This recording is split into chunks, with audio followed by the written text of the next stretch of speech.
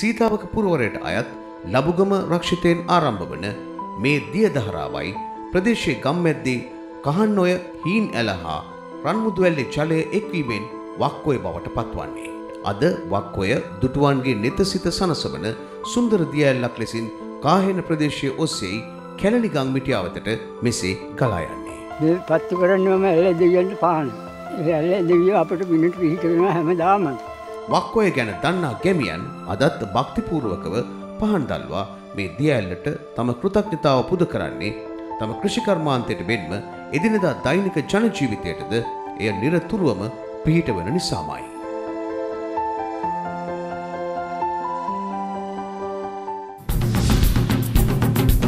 ශ්‍රී Lanka Telecom එකම රටක් එකම හඩක්.